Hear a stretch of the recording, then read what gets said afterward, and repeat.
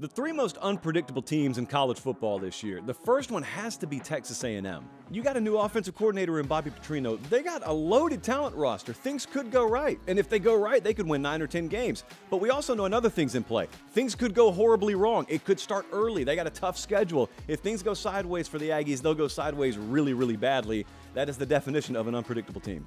What about Oklahoma? Brent Venables, a ton of hype when he came in. They've had top eight recruiting and portal classes both cycles he's been there. They figure to be revamped along both lines of scrimmage. They're really good at quarterback. They got a very workable schedule this year, but we still got to see them get it done on the field. And Miami's absolutely unpredictable. Look, Mario Cristobal inherited what he inherited. Last year was a disaster. They got beat by Duke and Middle Tennessee State at home. We were down there. We saw much better players walking around. A lot of them are portal guys, true freshmen. How quickly can things click? Can they win eight games this year? That'd be a nice launching pad to 2024. It's anyone's guess, though.